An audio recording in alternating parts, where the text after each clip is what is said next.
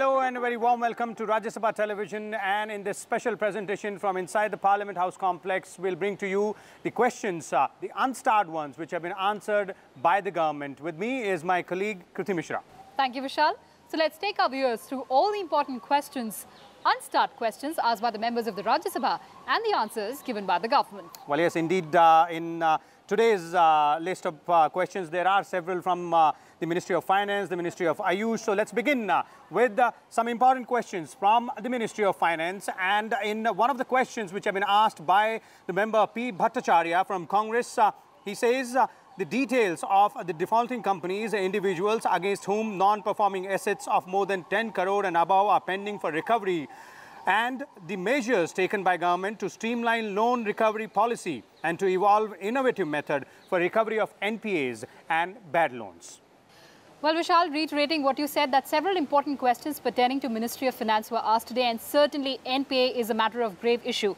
So, answering to P. Bhattacharya's query, MOS Finance has said that the Reserve Bank of India has informed that there are around 4,387 borrowers with aggregate funded outstanding 8 lakh 59,532 crore rupees related to non-performing assets of more than 10 crore rupees. RBI has also informed that the, under the provisions of Section 45E of the Reserve Bank of India Act, it is prohibited from disclosing credit information. Section 45E provides that credit information submitted by a bank shall be treated as confidential and not to be published or otherwise disclosed. A number of measures have also been taken, Vishal, to streamline loan recovery and introduce innovative methods to, for recovery of NPAs. The Insolvency and Bankruptcy Code has been enacted to create a unified framework for resolving insolvency and bankruptcy matters. So another important question pertaining to Ministry of Finance was asked by Saroj Pandey and she has asked about the number of new Jan Dhan bank accounts opened so far since the implementation of the Jan Dhan Yojana by the government. Well, this has been uh, a very important scheme uh, which was now launched by the government. And in fact, uh, in the answer, the Finance Ministry gives ahead uh, uh, the clear figures. It says that uh, till 11th of July 2018, uh, the total number of Jan Dhan accounts which are opened by the banks uh, was 32.02 crore. In that, 1,000, 1 lakh rather, 70,292 crore rupees was directly transferred in these accounts and the beneficiaries uh, were during the financial year 2017 and 18. The ministry also goes on to say that these bank accounts, however, include but are not limited to Jan Dhan accounts. One another important question, Kriti, uh, here is uh, from Ripun Bora, who has asked the government that whether it is a fact uh, that the government has introduced Mudra Yojana for business purposes for the unemployed persons of the country. Well, Vishal, true to its powerful tagline, funding the unfunded. Mudra has transformed the lives of many aspiring entrepreneurs and you remember we did a program as well on this particular scheme. So Pradhan Mantri Mudra Yojana provides access to institutional finance to unfunded micro small business units by extending loans up to rupees 10 lakh for manufacturing, processing, trading, services and activities allied to agriculture which help in creating income, generating activities and employment. Overdraft facility of up to 5,000 rupees under Pradhan Mantri Jan Dhan Yojana is also covered under Mudra.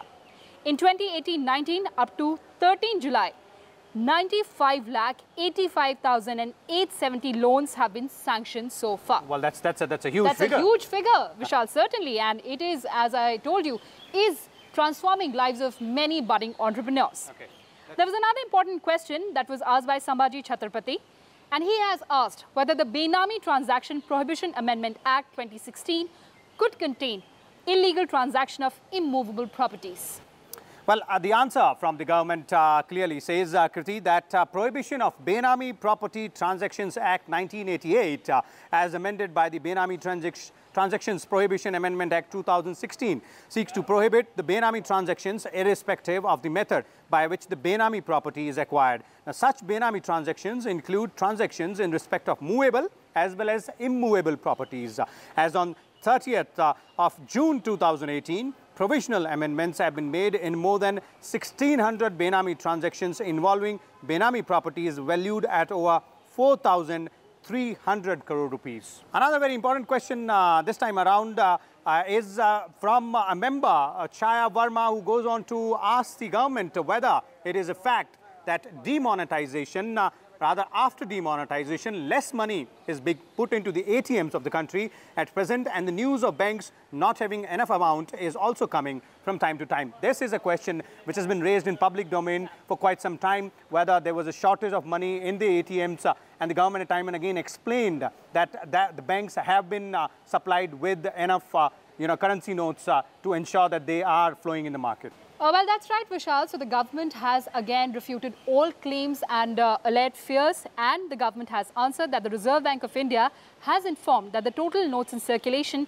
is around 19.28 trillion in 2018 as compared to 17.74 trillion in 2016.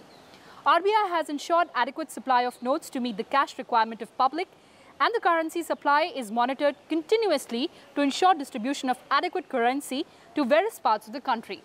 RBI has further informed that as on date, there is sufficient stock of issuable notes in currency chest and with RBI for adequately meeting the cash demand of bank customers over the counter or through the ATMs. So certainly a very important declaration, a very important declaration through the answer that was given on uh, in the Rajya Sabha today. Well, definitely reiterating the figures which have been there in the public domain earlier as well. Right. So there's another important question, and this has been asked by Kumari Shelja. Uh, also by Shamsher Singh Dullo. And we are moving from Ministry of Finance to Ministry of Health now.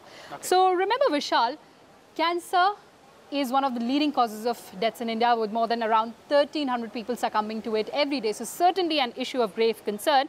And uh, uh, these members have asked the government whether the number of cancer patients is on the rise in the country and what is the government doing to arrest it.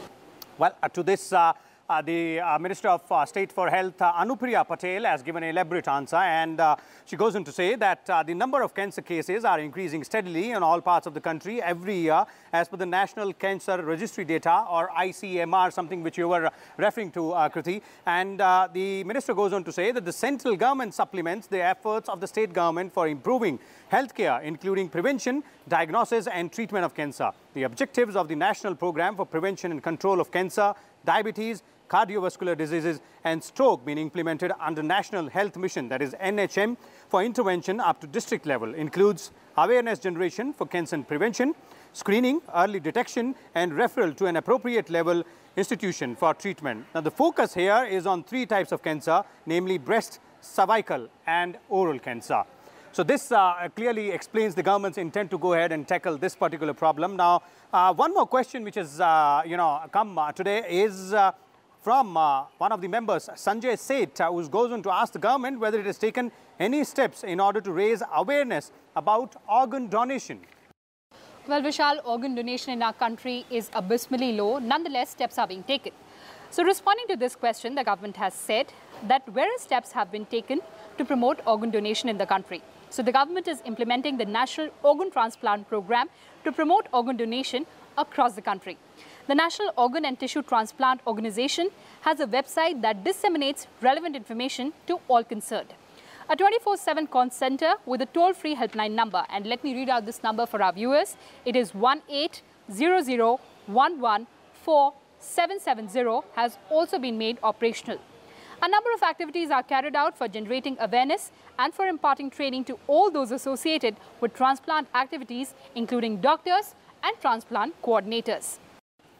Okay, now, that's that's that's interesting. And before we move ahead, Kriti, I would like to you know reiterate uh, that helpline number for our viewers uh, in Hindi as well. Uh, uh, ये number है एक आठ शून्य शून्य एक एक चार सात सात शून्य So this is the number on which uh, anybody who has, uh, you know, any or needs any information with respect to uh, how to tackle cancer or how to approach, uh, you know, different uh, dispensaries, the government uh, hospitals who can help these patients who are in need. But let's move on to the next one. Oh, well, so from uh, health, we move on to Ayush now, a related ministry, of course.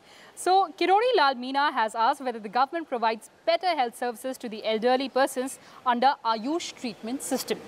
Well, uh, you know, this uh, goes on to have a very, again, uh, detailed answer from uh, the Minister uh, for Ayush, Mr. Shripad Yesso Naik. And the minister says that the Central Council for Research in Ayurvedic Sciences, an autonomous organization under Ministry of Ayush, is providing health services to the elderly persons through its 23 clinical units. That's special units uh, located throughout the country. Central Council for Research in Homeopathy, an autonomous organization under, again, Ministry of Ayush, is providing health services to the elderly persons through its 23 research centers and eight peripheral outpatient departments, that is OPDs located throughout the country. The Central Council for Research in Siddha, an autonomous organization, again under the Ministry of Ayush, is also providing the special outpatient services on this matter. So uh, from here, let's now move on to another topic, another ministry, and that is the Ministry of Minority Affairs, where uh, Javed Ali Khan goes on to ask the government, uh, and he has uh, inquired about institutions engaged in the upliftment of minorities uh, in the country. So Minority Affairs Minister Mukhtar Abbas Naqvi has given an elaborate answer and he lists specifically uh, that there are institutions who are engaged in the upliftment and safeguarding uh, minorities, including the linguistic minorities. And these are National Minorities Development and Finance Corporation, the Maulana Azad Education Foundation, National Commission for Minorities, the Special Officer for Linguistic Minorities appointed by the President under Article 350B of the Constitution, Central Waqf Council and Hajj Committee of India. Now moving on to another important ministry, which is Ministry of Power. Well, yes.